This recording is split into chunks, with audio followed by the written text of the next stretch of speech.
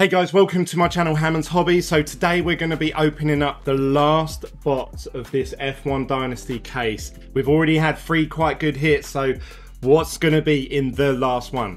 Stay tuned to find out.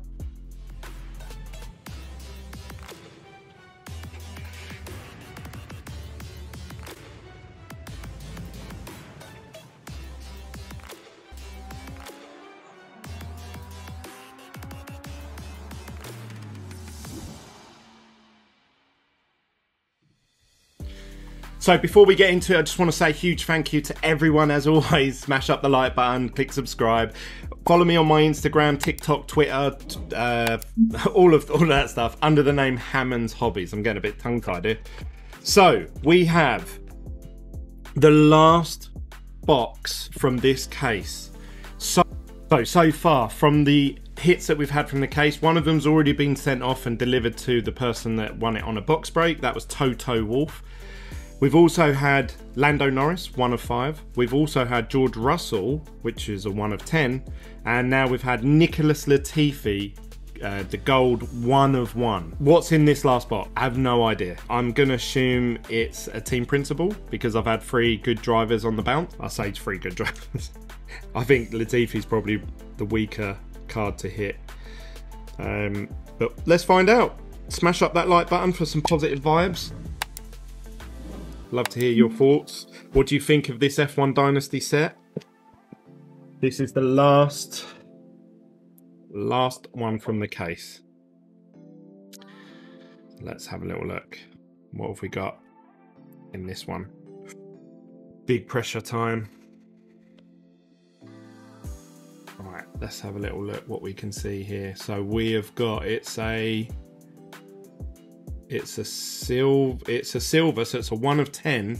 It looks like a jumbo patch. What color is that? It's green, so I assume this is going to be either Sebastian Vettel or Lance Stroll, or it could be their team principal. It could be who'd that be? That'd be Otmar, I think, at this point. Um, but let's find out. I'm hoping for Vettel. I would rather Vettel than Lance Stroll. Otherwise, we've had both the Canadians pulled. Let's have a little look.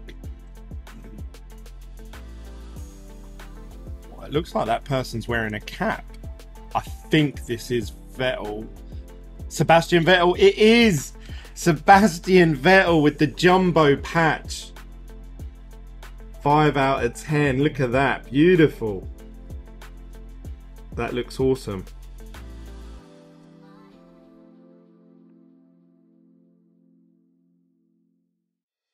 Congratulations, you have pulled an F1 Dynasty autograph patch card from 2021. Nice.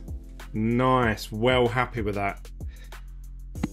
Sebastian Vettel's a very popular driver amongst the fans, so uh, yeah, that's a real good selection there. We have got Lance, uh, Lando Norris, uh, George Russell, that's a glove card. Um, we've got the Nicholas Latifi in gold, and now we've had the jumbo patch Sebastian Vettel. So, whoo, big, big hits there. What do you guys think? Comment down below. We've got the two British guys at the top. Obviously, coming from Britain myself, you know, I have a, a bit of a bias towards them, but uh, I think we can all agree these are beautiful, beautiful cards. I love the fact that they've added colour into this year.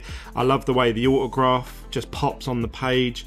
Um, obviously, I much prefer this gold, not just because it's a one of one, but I actually just really like gold cards. I like gold, uh, even the penny sleeves I use are gold. So, but I don't think I'll be putting uh, any of these cards in gold penny sleeves anytime soon. Um, but what do you guys think? Should I send these all off to be graded or should I just sell them raw?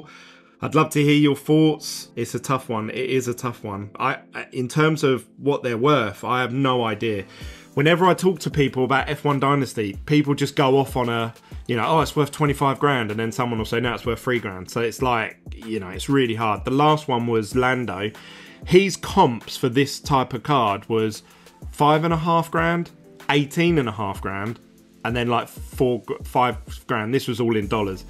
So I was like, how's that even possible? How's there such a massive discrepancy between them? Yeah, I think I've actually sold this one now to a gentleman in America He's paid uh, three thousand pounds for it. Um, so yeah, congratulations to that guy. I thought it'd be worth between 3 and 4k. I'm not sure what this one is worth, the George Russell. I have absolutely no idea. Uh, I have no idea on these either. I'm going to assume Latifi's worth 750, maybe a grand, and Vettel, I don't know. I honestly don't know. I'd be just plucking a figure out of thin air.